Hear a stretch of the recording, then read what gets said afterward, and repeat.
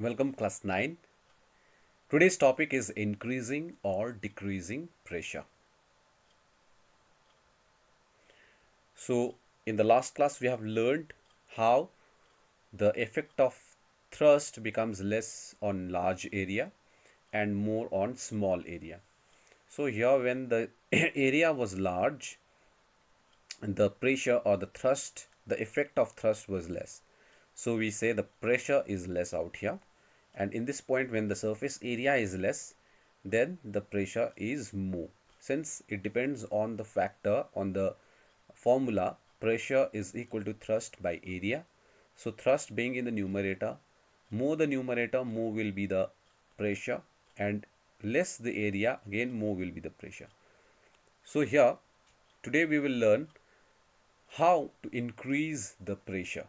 So if you need to increase the pressure on certain objects or on, in certain conditions then how will you increase the pressure?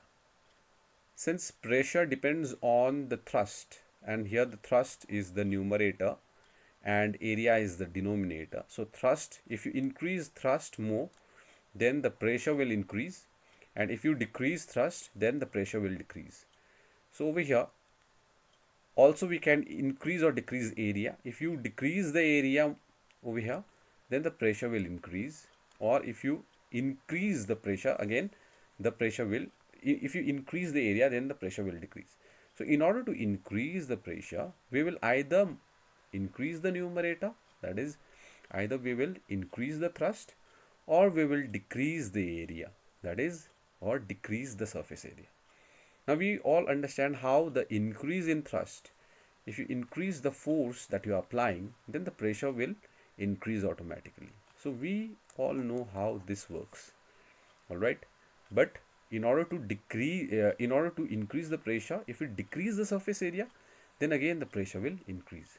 So decreasing the surface area is one of the important factor in order to increase pressure. So the example where the surface area is decreased to increase the pressure in the objects like you know board pins or simply pins here. In the tip of the pins the surface area is less. So when the surface area is less it has more pressure and thus it can easily penetrate through any surface. So the tip of the pins or tip of the needles okay or the tip of the pins are uh, do have uh, less surface area. So less the surface area more will be the pressure. All right and another one is a wedge.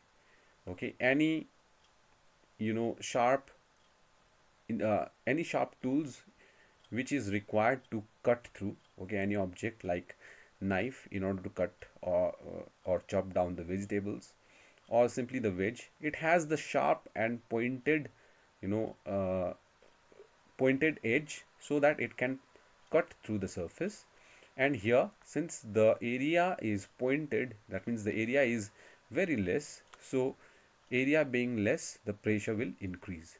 So by applying you know uh, by applying less amount of force also you can create a huge amount of pressure.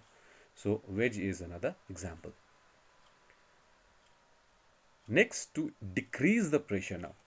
In order to decrease, sometimes we may need, you know, we may need at certain conditions, we may need to decrease the pressure. So again, the formula is pressure equals thrust by area. So in order to decrease the pressure, we can decrease the thrust first. So once you decrease the thr thrust, okay, then the pressure will decrease automatically. Or if you increase the new uh, denominator, if you increase the area, then the pressure will again decrease all right so we can do firstly by decreasing the thrust okay and by increasing the surface area excuse me. So over here if we decrease the thrust you apply less amount of force obviously the pressure will be decreased. So decreasing the thrust we can understand how decreasing the thrust will decrease the pressure. It's very simple. But increasing the surface area if you increase the surface surface area that means if you are applying the force and the surface area is increased okay? Here the surface area is more then the amount of force that acts uh, you know perpendicularly to the surface that force will not have enough pressure okay? That force will not be able to create enough pressure.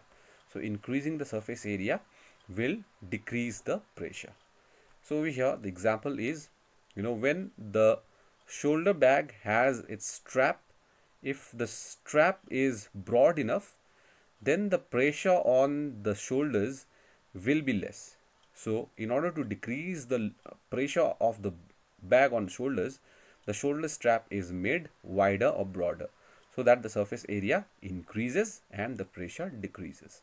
All right so this is how it works out here. Secondly on the railway tracks okay in order to minimize the pressure of the railway lines or the tracks on the you know on the ground okay the pressure is acting downwards. This pressure is reduced by the flat wooden pieces okay. So these woods will you know decrease the pressure because the flat surfaces over here means there is an increase in the surface area and as the surface area increases it will not allow the pressure of that is the uh, pressure by the weight of the railway lines to the ground okay. So this way increasing the surface area again decreases the pressure. Pressure in fluids so what is a fluid? So any substance which can flow is called a fluid. So all liquids and gases are fluids because all liquids and gases can flow. And solid is not a fluid because solid cannot flow. All right. So here a solid and this is a liquid and a gas. We know that solid cannot flow okay? It has a rigid body. It cannot flow okay? And in comparison to solids the liquid can flow easily. And in comparison to liquids gases can flow in any direction okay? It can flow upwards as well. So not only in the left or right or downwards it can flow upwards as well. That's why liquids and solids are uh, sorry liquids and gases are considered as the fluids okay? But not the solid. So solid is not a fluid. Now solid since its weight acts downwards okay the weight of the solid acts downwards so it can only apply the pressure in the downward direction.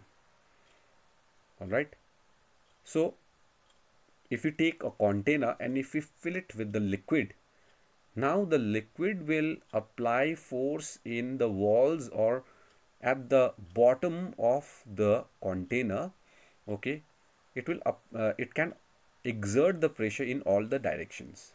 So the liquid can exert the pressure in the walls of the container as well as the bottom of the container.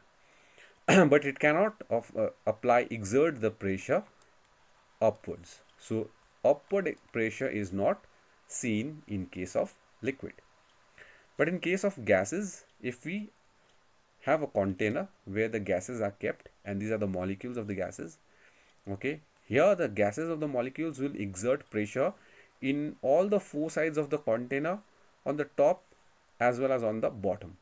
So it exerts pressure in all the directions. Alright.